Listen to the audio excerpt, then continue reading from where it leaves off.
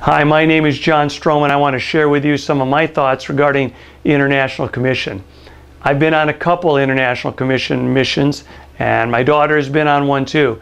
And I'll be honest with you, I've been very impressed. Um, I find that their missions are prepared, uh, they've made the connections in wherever that location is. So not only does the gospel go out, but for those who come to a saving knowledge of Christ, there's follow up with local churches.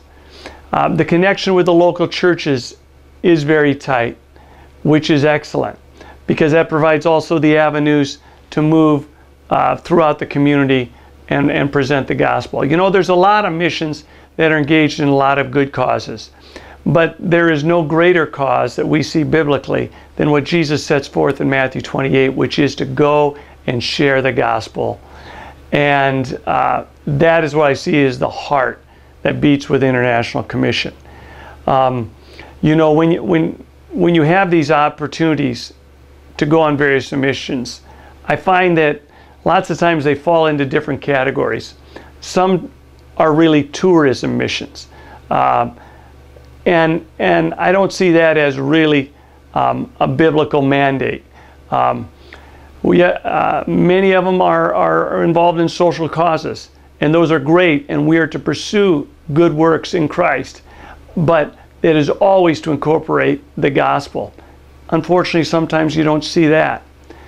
Uh, where you never go wrong is when you are proclaiming the gospel, because that is our first and foremost calling.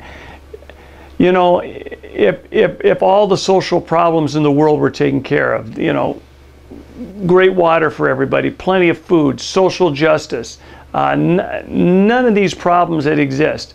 What would be the need for real missions? It would still be the same need there is today. Because the greatest need in a person's life is to be saved from the judgment to come.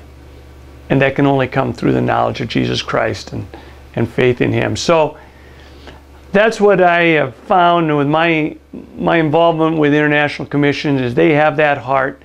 And I would encourage you if you've never been on a mission before jump on an international commission mission. If you've been on other missions before jump on an international commission mission. Because you're going to find a very um, exciting and fulfilling opportunity to fulfill God's call in Matthew 28 the Great Commission. Thanks for your time